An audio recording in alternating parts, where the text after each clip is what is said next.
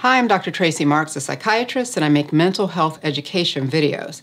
Today, I'm talking about a new study using oxytocin to treat borderline personality disorder. To date, we really don't have a medication treatment for the disorder. The main treatment is dialectical behavior therapy and medication only to address other symptoms like depression or anxiety.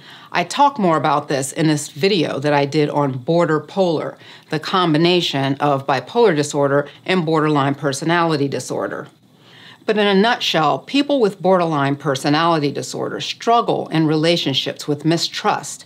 They fear being abandoned by the other person, and this can create a lot of anxiety and depressed mood, impulsivity, and self harming behaviors.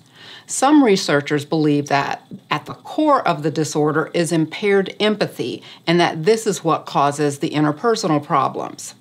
So here's what the new research looks like. Researchers out of Germany took a group of women and looked at three aspects of empathy cognitive, emotional, and what they call approach motivation. They showed the women pictures of people expressing different kinds of emotions. Then they asked them to recognize the emotional state. This would be the cognitive empathy. Then they measured how much the women could relate to the emotion that they saw, and this is emotional empathy, which is being able to put yourself in someone else's situation. And lastly, they asked them to rate how strongly they wanted to be socially close to the person in the picture. And this is the approach motivation.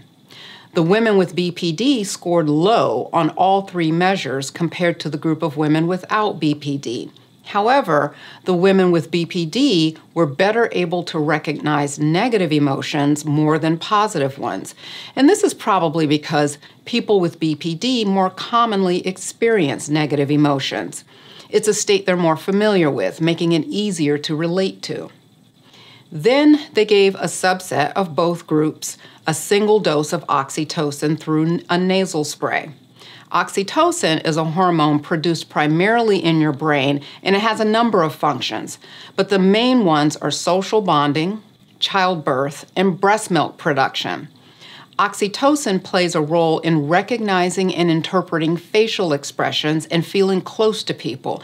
Some people call it the love hormone. Here's my oxytocin story. It takes place at a time when I was breastfeeding. I was out shopping at a retail store and was checking out at the register.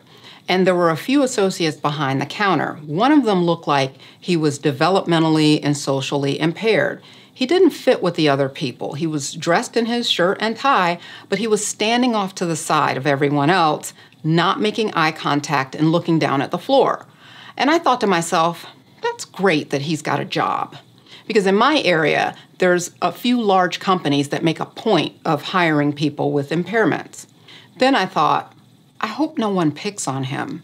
He was a big guy, tall, solid looking, but I pictured in my mind him being approached by bullies, and I thought, I wonder if he can fight.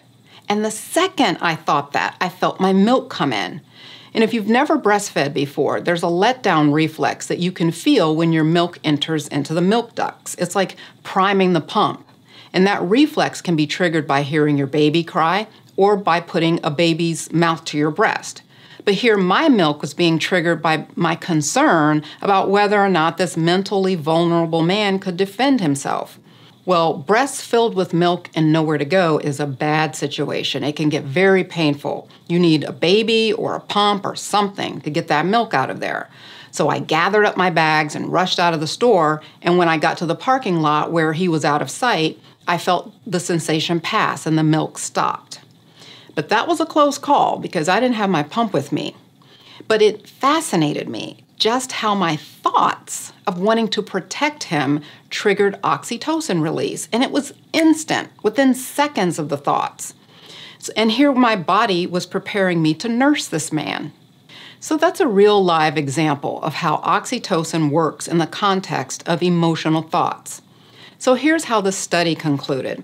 The women with BPD who got one dose of oxytocin nasal spray had rises in their empathy scores that was equal to the women without BPD who didn't get any treatment.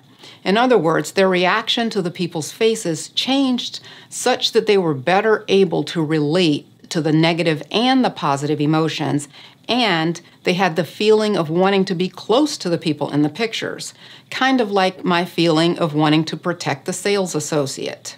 So, this is definitely a positive finding. It can set the stage for clinical trials to use the drug as an add on agent for therapy for BPD.